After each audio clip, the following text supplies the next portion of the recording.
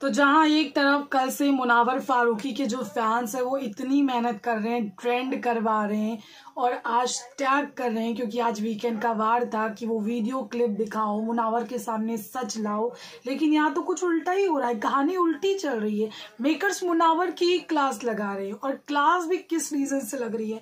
मुनावर का अपना डिसीज़न है, उसको लड़ना है, नहीं लड़ना है।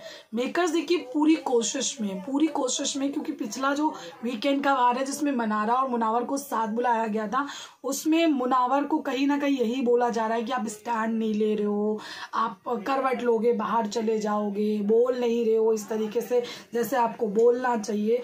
तो ये सारी चीज़ें हो रही हैं, क्योंकि मुनावर को जो है ना, वो अंकिता या फिर विक्की के अगेंस्ट इनको खड़ा करना है। यानी कि वर्सेस वाला जो एक गेम होता है ना हर सीज़न में, जैसे कि कोई एक विलन है, कोई एक हीरो है, कोई एक हीरोइन है, उस टाइप की चीज़ें मेकर्स चाह रहे हैं और इस वक्त वो चाह रहे हैं कि अंकिता वर्सेस मुनावर हो जाए या फिर विक्की वर्सेस यहाँ पर मुनावर हो जाए। कुछ तो होना चाहिए जिससे इनको टीआरपी वगैरह मिले।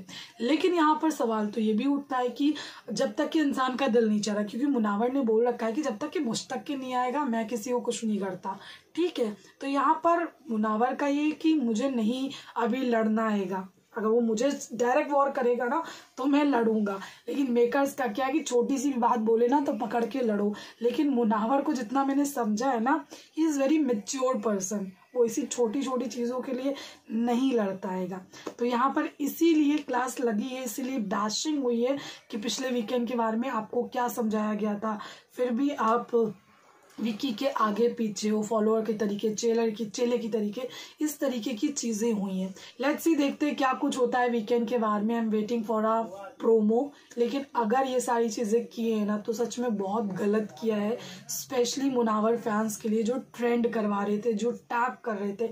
फिर फिर उन फैंस का क्या मतलब? जो कि इतनी मेहनत करते हैं, अपने पर्सन के लिए इतना स्टैंड लेते हैं, अपने पर्सन के लिए परेशान हो रहे होते हैं कि जनता जो है ना बाहर देख रही है, वो कहीं ना कहीं मुनावर के लिए परेशान हो रही है कि उसकी बॉडी शेमिंग हुई है, उसके साथ पीठ पीछे गलत हो रहा है, लोग उसको बुरा भरा बोल रहे हैं तो एटलीस्ट उसको पता तो चलना चाहिए। इनफैक्ट मन्नू पंजाबी ने भी ट्वीट किया कि उसके सामने सच आना चाहिए। कई सारे यूट्यूबर्स हैं, वो भी यही बहुत बोल रहे हैं कि सच आना चाहिए, और मैं भी यही चाहती हूँ कि मुनावर के सामने एक रियलिटी तो आनी चाहिए, एक रियलिटी चेक उसको मिले कि देखो, दोस्त, किनको तुम बोल रहे हो? दिल से तुम तो दोस्त मान रहे हो, तुम तो चुगलियाँ नहीं कर रहे हो, लेकिन दूसरे ना बड़ी चुगलियाँ कर रहे हो। Thank you